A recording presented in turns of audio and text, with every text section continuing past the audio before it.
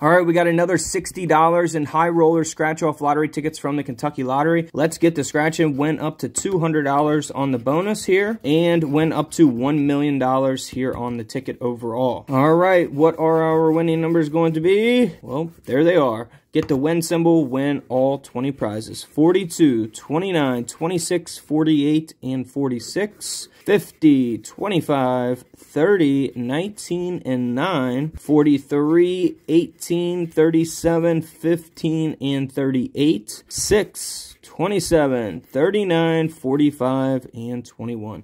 Unfortunately, that one there is a loser. Can we get a winner out of three tickets, $60 spent? How much can we get back or anything back? You can definitely lose a lot of money on these tickets, so play at your own risk. We show you guys our winners and our losers every single day here on the page. So if you guys aren't following, feel free to follow. And there we go. We got a 10 times the prize. Hopefully it is a good one. 49, 35. Next row, 24, 41, 40, 23, and 50. 47, 27, 22, 30, and 1. 10 times, what's it going to be?